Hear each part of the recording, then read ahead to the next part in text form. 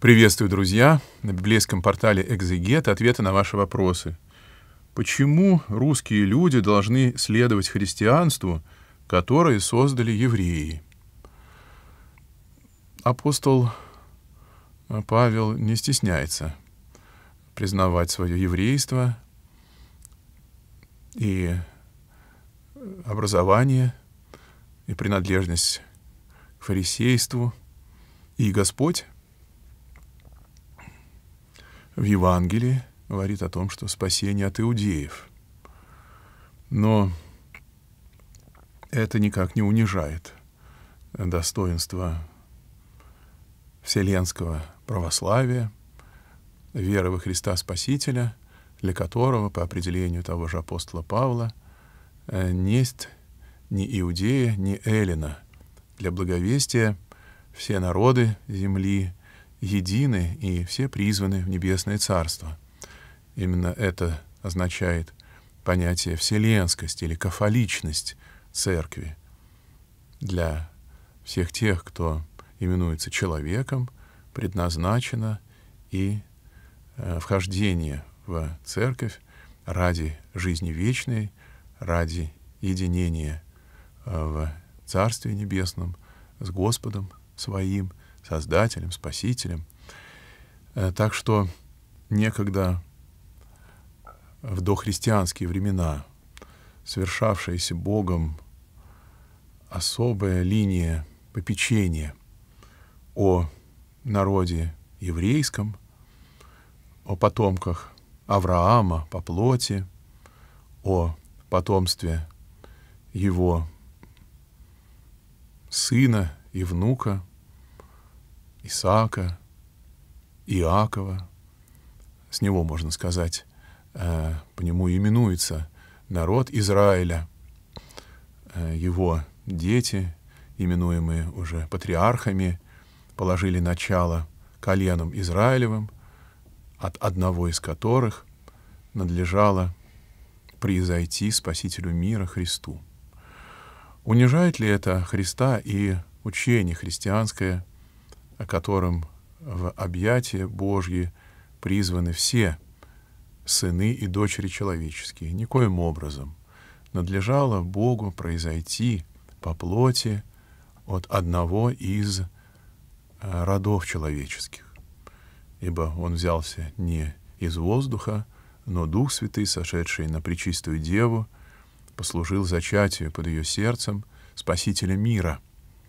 И надлежало ему воспринять всю полноту человеческой природы, кроме греха, и родиться нетленно после девяти месяцев пребывания под сердцем Пречистой Матери Своей и явиться всему миру в богоявлении, когда на него указал Иоанн Креститель, и надлежало ему всех вознести к себе, когда сам он был вознесен над землею своим крестом, а сугубо своим воскресением, и Дух Святой, сошедший на церковь на 50-й день после воскресения, уже и э, во все концы э, повел апостолов благовествующих э, с тем, чтобы торжество Господа, спасающего род человеческий, совершалось и поныне,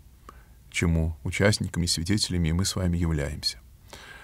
А, то, что предшествовало Богоявлению, особое попечение о том роде, от которого по плоти надлежало Спасителю произойти, никак не отменяет его последующего величия.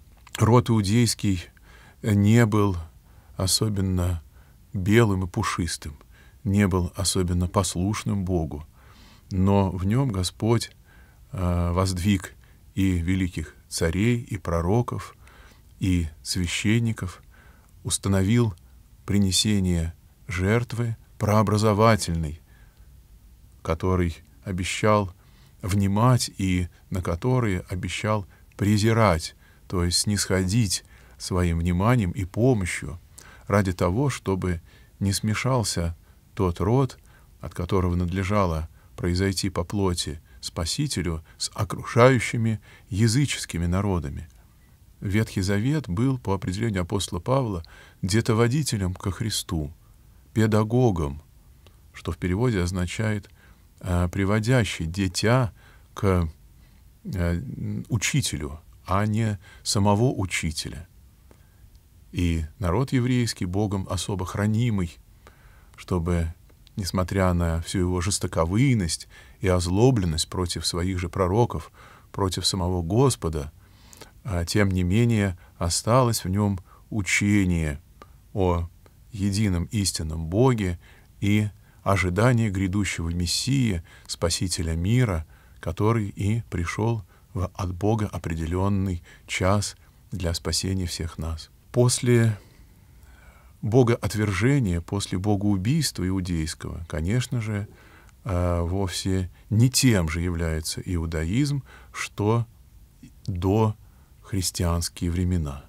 Если тогда это было ожиданием грядущего Спасителя, и хорошо ли, плохо ли а, ждали иудеи и хранили слова пророческие э, книги Моисеевой о том, что семя жены сотрет главу змея, бдительно ли или забывали об этом, изготавливая себе э, золотого тельца, и то и дело только формально почитая Бога устами своими, при сердце далеко отстоящим от Него, за что обличали все пророки народ иудейский. Но, тем не менее, Богом положенное дело было совершено, и по э, скончании э, седьмин Данииловых, и по указанию и иных пророков для того, чтобы э, яснее узнали иудеи, пришедшие к ним спасение, является Господь и уже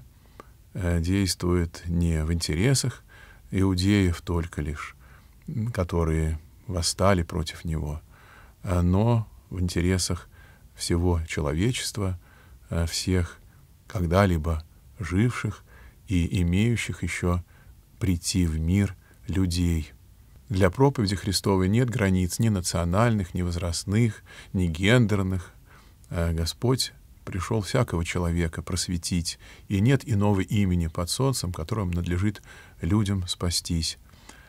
Нет э, ни для э, иудея больших преимуществ от того, что он иудей, если не верует во Христа, нет и у язычника существенных недостатков, если и не имея а, пророков, если и не принадлежа а, к роду, от которого произошел Господь по плоти, он верует в Господа, то и настигает а, то, что не постигли а, тех, к кому Господь первым делом пришел, то есть к иудеям. Потому и указывается Господом иудеям жестоковыйным. Э, многие придут от всех четырех сторон света и возлягут с Авраамом, на которого вы думаете уповать, в Царстве Божьем, а сыны Царствия, сам народ, в котором явился Спаситель, будут извержены вон. И регулярно после притчей Господних, указывающих на отвержение Израиля и на явление нового Израиля, христианской православной церкви, гневались на него, ненавидели его и стремились убить его, что и было им попущено совершить. Так что совсем неправильно называть христианство еврейским учением, воспринятым э, зачем-то Русью, а еще тогда не слаженной, еще тогда языческой, но нужно благодарить наших великих предков и князя Владимира, а, прежде всего, а, при котором а, это благовестие вселенское докатилось и до наших предков, так что и сегодня, держа знамя православия, мы с вами чаем спастись и послужить спасению еще и потомства нашего. Внеси свой вклад, оцени, подпишись и поделись этим видео.